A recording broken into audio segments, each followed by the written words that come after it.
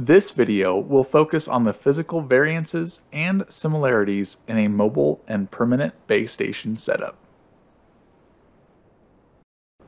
When using a tripod, check the Tribrach adapter for tripod levelness. After adjusting the legs, proceed to connect the R750 receiver and the receiver antenna. Once those are secured, connect the proper cabling to the radio antenna, if equipped, and the receiver antenna. Attach the other end of the cable to the proper port on the back of the R750 receiver. If using an external USB-C power pack or permanent power supply, connect those at this time.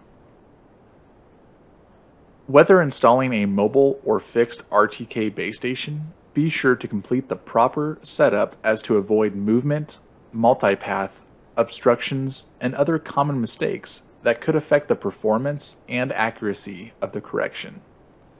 For more information, go to learn.trimble.com to view additional content on proper base station installations.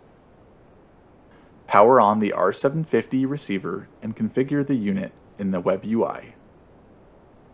Thank you for watching part 3 of a 5-part series. If you have any questions or comments, please email trainingcf at trimble.com.